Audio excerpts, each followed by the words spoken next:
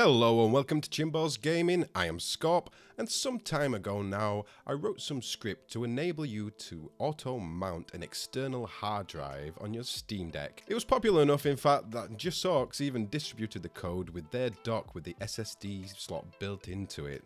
Things have changed a lot since then, and now SteamOS 3.5 and later let you automatically mount external hard drives through SteamOS itself.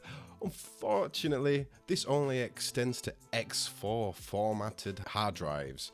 So, I decided to update my script.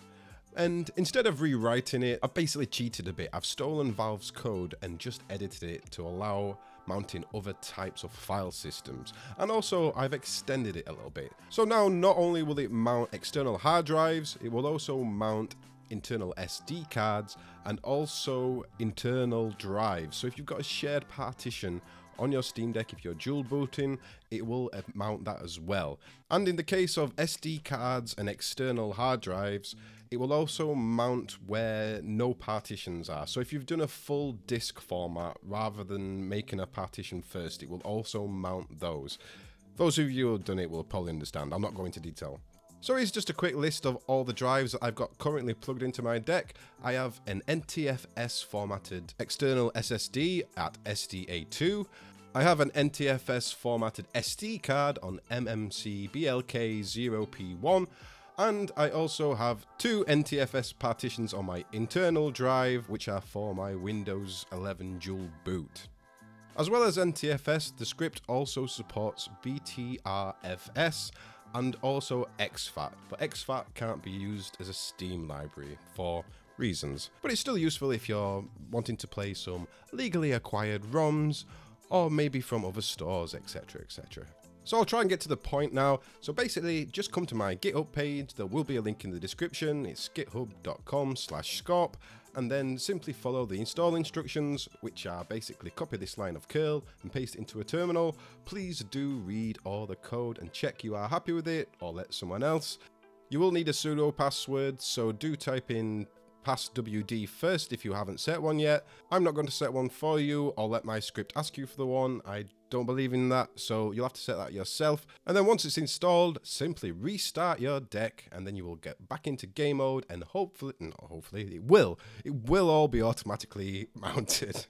So I'm now back in game mode and here we are in storage and as you can see here is my external SSD, it is mounted as NTFS, so is my micro SD card and so is my shared drive that I share with Windows so I don't have to install games twice between Windows and SteamOS.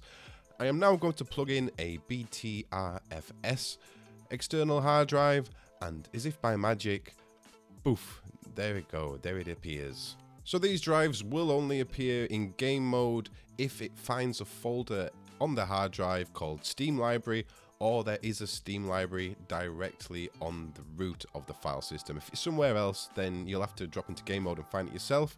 And in the case of exFAT, it will auto mount, but regardless, it will not add that to Steam Deck's Steam libraries because exFAT is not supported in Steam libraries on SteamOS because it requires symlinking, which you can't do on exFAT. I'm going to quickly drop into desktop again and show you that working. So I'm going to plug in an external exFAT drive, which I use with my PS4. This is why it's called PS4.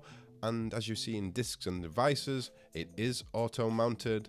And I'll quickly show you in LSBLK that it is also mounted all automatically, all with this script. So between Valve script, which will automatically mount ext4 on SD cards and external drives, my script will then add the ability for BTRFS, NTFS, and exFAT on SD cards, external SSDs, and some of the internal partitions, everything that's below um, partition 9, I believe it is, so it doesn't interrupt with anything that Steam's already set. So that is it for me, I hope that helps. Why not check out one of my other guides or some of my other scripts, there will be some links in the description, and do share this to anyone that it might help. Thanks a lot for watching, bye!